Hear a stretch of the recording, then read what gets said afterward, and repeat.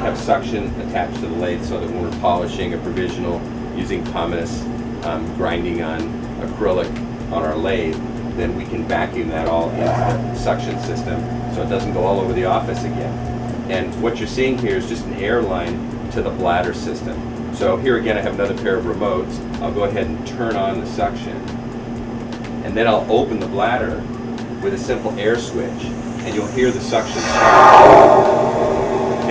Happened was the bladder opened and now I have suction.